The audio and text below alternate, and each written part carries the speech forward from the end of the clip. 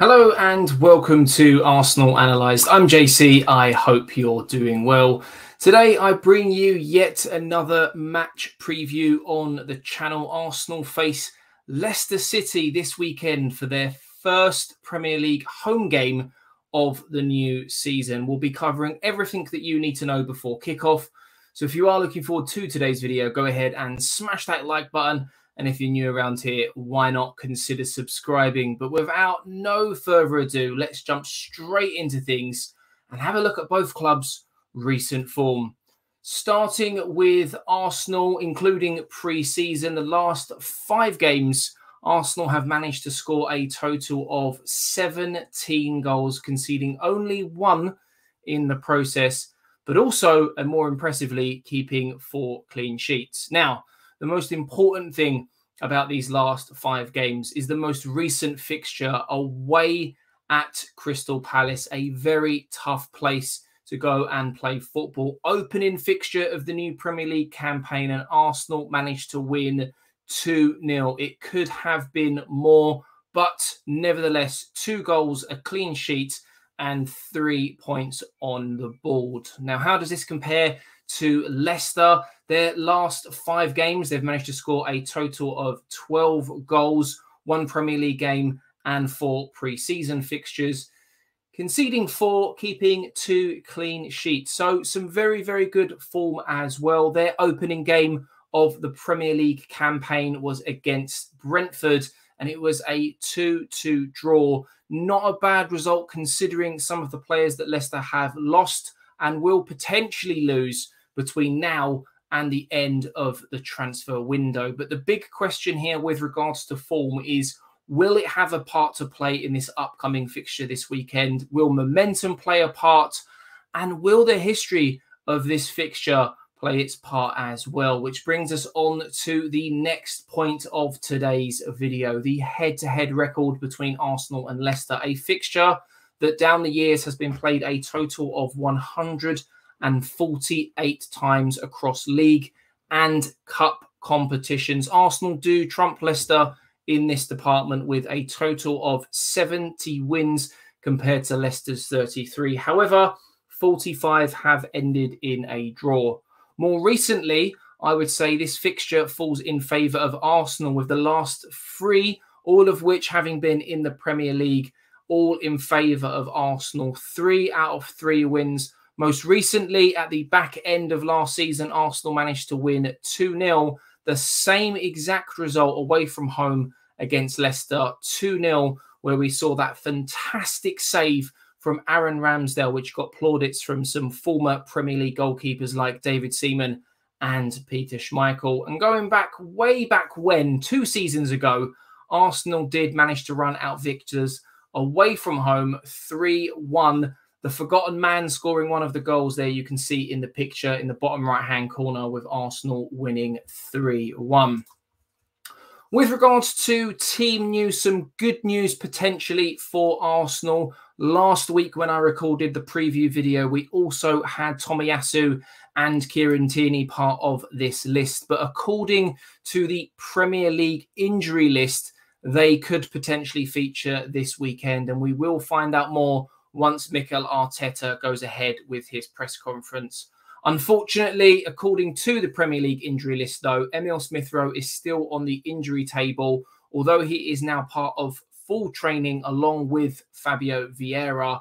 There is still a niggling injury of the groin, and likewise with Vieira, the ankle for him as well. They may feature on the bench. This fixture could potentially come a bit too soon. Leicester are no pushovers and Mikel Arteta may opt to wait for a slightly more favourable fixture, which would be the next two after the Leicester game, before risking further injuries to the likes of these two players. Now, again, according to the Premier League injury list, three players that will play no part in this fixture over this coming weekend is Pereira, who is now out for the next six months, having a fairly serious Achilles injury. Ryan Bertrand also out with a knee injury, and likewise Harvey Barnes also out with a knee injury. But again, Brendan Rodgers may shed further light on this in his upcoming press conference. But as things stand, they are said to not be available, especially the latter two. Having a look at the key danger men, in my opinion, for this fixture, whilst Saliba did get man of the match for Arsenal against Crystal Palace, we're talking danger men, and I do think that Saliba and Vardy is a battle to keep an eye on because Vardy does like to play against Arsenal. However, in terms of two players that I think who have started the season very, very well, and also a player that I'm very excited to see in an Arsenal shirt over the course of the season is Gabriel Jesus. 49 touches, one shot, six out of six completed dribbles, 71 passing completion. But what really impresses me is the fact that he won eight out of 16 ground duels and two out of five aerial duels. We know that he is a fantastic pressing forward. And in that first 15 to 20 minutes against Crystal Palace, I would say that he was very unlucky not to get himself on the score sheet. Hopefully, now in front